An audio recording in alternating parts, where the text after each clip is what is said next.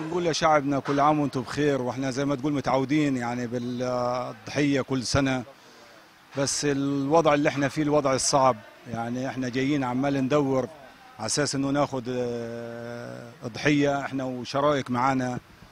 فبندور على أوزان عمال اللي هي تتناسب مع الجميع حسب كل واحد ووضعه المادي.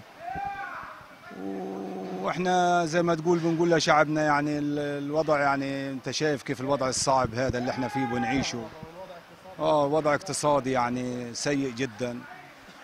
ووضع الكهرباء كمان هذا بيعمل برضه نوع من ال يعني ال- حساباتنا. شايف كيف وضع يعني أنت عارف وضع الكهرباء. يعني بتجينا ست ساعات في اليوم كويس واحيانا بتجيش ست ساعات أحيانا بتيجي ثلاث ساعات. شايف يعني ملهاش مواعيد.